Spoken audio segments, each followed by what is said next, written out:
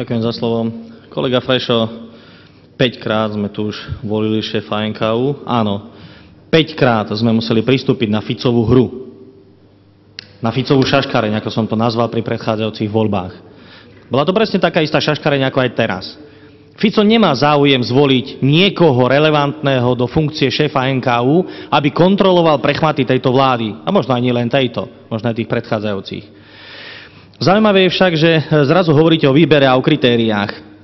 Pokiaľ si pamätám, my obyčajní sme prišli s tým, aby sa robilo reálne výberové konanie zo všetkých navrhnutých kandidátov a z toho by vzýšiel kandidát spoločný, ktorého by nemohol nikto spochybniť, ani Fico. Vy ste to však odmietli a teraz ste si urobili výber sám pre seba a len za jedného. E, Mitrik vyhovuje Smeru, lebo ho navrhoval Fico. Nie je to trochu metúce?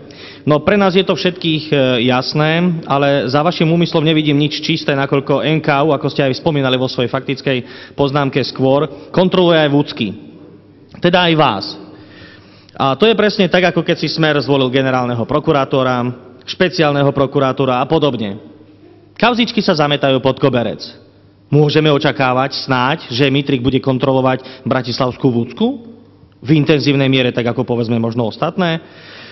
No a celá opozícia sa dohodla, teda okrem pár individualistov, a teda aj okrem vás, jediného, jediného, pretože vy jediný ste nepodporil túto kandidátu a máte svojho vlastného. Svojim konaním samozrejme nahrávate Ficovi sebe a kopete do opozície. No a vaša výzva na záver, že chcete ešte debatovať o tých kandidátov, no doteraz sme pre vás boli nič. Nebrali ste nás ako partnerov a zrazu chcete diskutovať? Zrazu chcete o tom debatovať?